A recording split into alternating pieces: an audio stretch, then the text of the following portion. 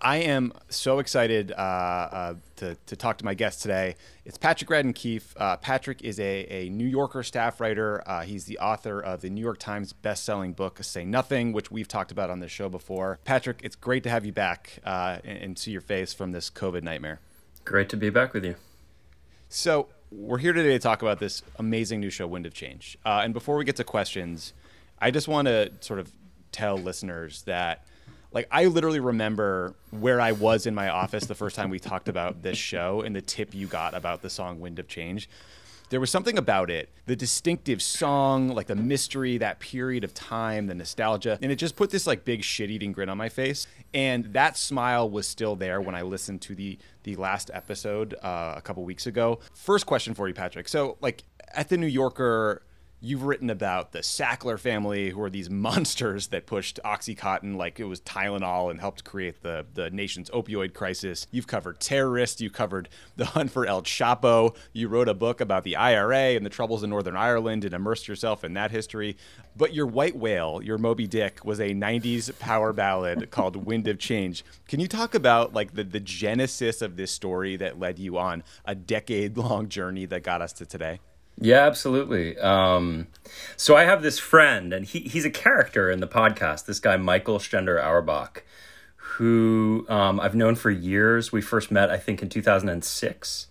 And he has been a, a dear friend of mine for years, but also a source. And so over the years at the New Yorker, he would tip me off to things, crazy stories.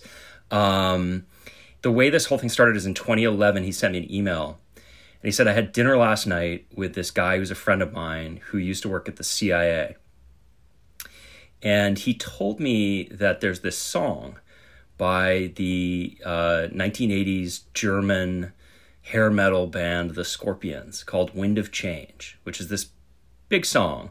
Um, more in Europe. It's one of the biggest rock songs ever, less so in the US, but in Europe, it's just huge, ubiquitous. It came out right around the time the Berlin Wall fell and it's all about reconciliation and the end of communism and tyranny. And it was kind of the soundtrack to the collapse of the Soviet Union. And the tip that I got from Michael in 2011 was he said, So this guy last night told me that that song was written by the CIA.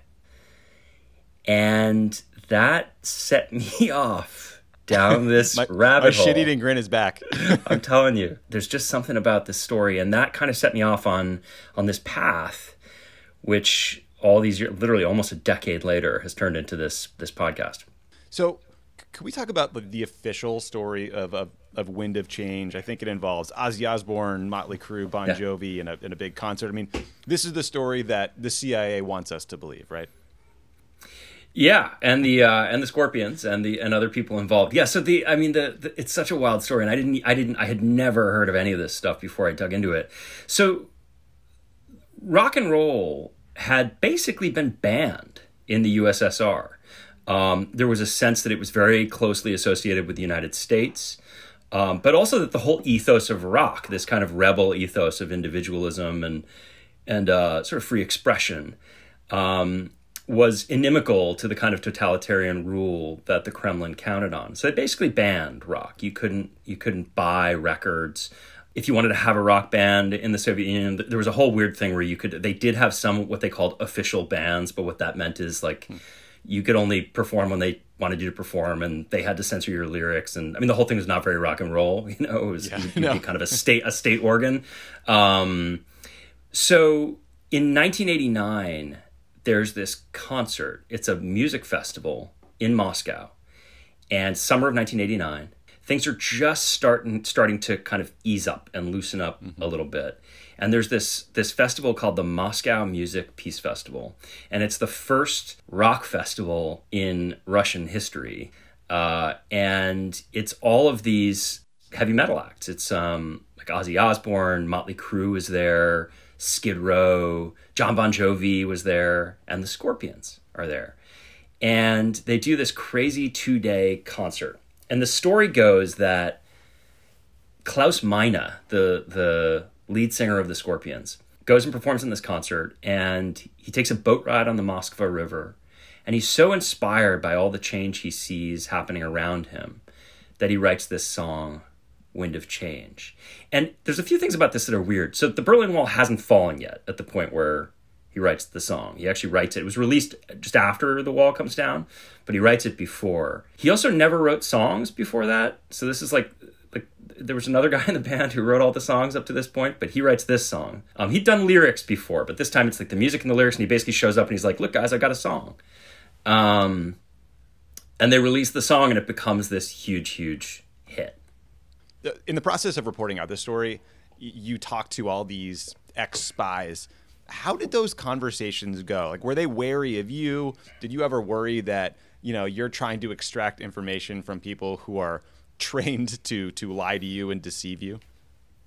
Yeah, it was a weird one. I mean, I, have written, I've certainly written about espionage before and had uh, sources who were ex spies and and friends who were uh, were former spies. Um, this one was especially weird because of the nature of the thing I wanted to ask about, right? So if it happened, if the CIA was involved, which is certainly, you know, what I knew from the start is like that's a story that's told inside the CIA. Um, the the one thing I knew for sure was that uh, it's still highly highly classified. And so then it becomes this weird thing where you're talking to people who, in some instances, take some coaxing to talk at all, and then you're asking them about something that you know, if they do know about it, it would probably be illegal for them to tell you about it. Do you remember the story you told me like 10 years ago? Yeah, you know that Patrick and I have been utterly obsessed with this story for the past 10 years.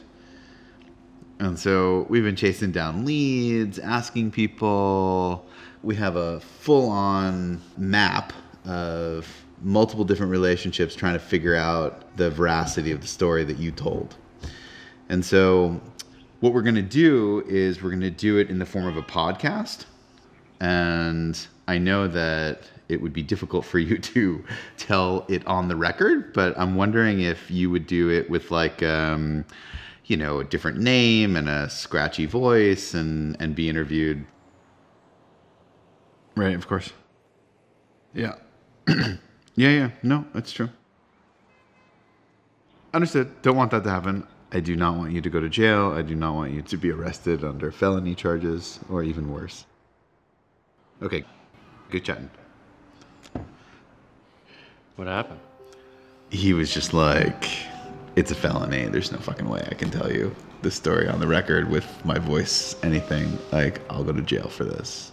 Along those lines, I mean, look, I imagine that if uh, the CIA helped write a, a, rock song that helped bring down uh, the, the USSR, that would be viewed as a great success within the agency. But there's also this dark history of supporting coups, propping up dictators, otherwise meddling in, in the affairs of sovereign nations.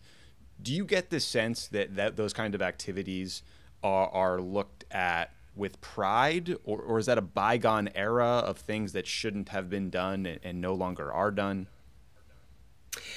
It's a great question, and and we talked to a whole bunch of people who had different points of view. Some of it, I think, is a question of when people come into the agency. It's fascinating because there's a, there's a big generational divide where um, a ton of people flooded into the agency post 9-11.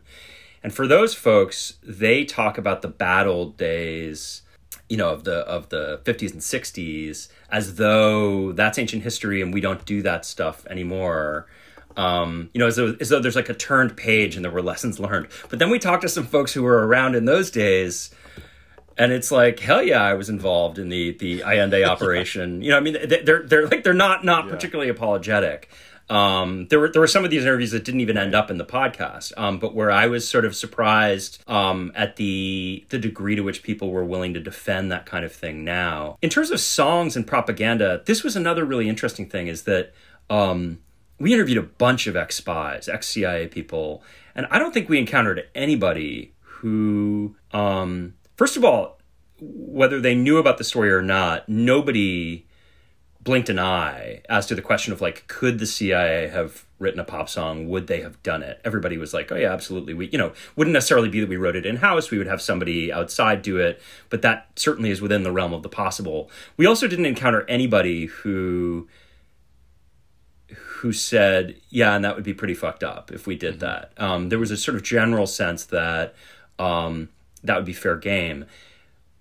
the flip side, though, is you know we went to Ukraine, we went to Moscow, we went to St. Petersburg, we interviewed fans. I went to a Scorpions concert in Kiev.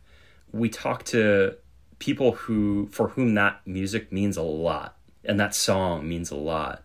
And there are these weird moments along the way where I would kind of be laughing as if it's all a big goof to me. And you talk to someone for whom the song Wind of Change is this like transformational political moment in their youth. And uh, you tell them it might have been written by the CIA. And I, you know, I, had these moments. I mean, we have them on tape, but these moments where people are people are basically like, "Fuck you! Don't yeah. tell me that." You know, there's some emotional interviews. I mean, uh, well, uh, again, this was the most fun series to just get to hear over time and watch the incredible work you guys did and just be in some way associated with. So I, am so glad uh, to talk with you about it. And oh, everyone, again, subscribe to Wind of Change on Spotify. You can binge the whole thing. You're not going to want to wait a fucking week to get to the next episode. Just trust me here. It's free. Don't whine at me that you don't have Spotify. Just download it for God's sake. Uh, Patrick, great talking to you. Hey, you too, man. Thank you.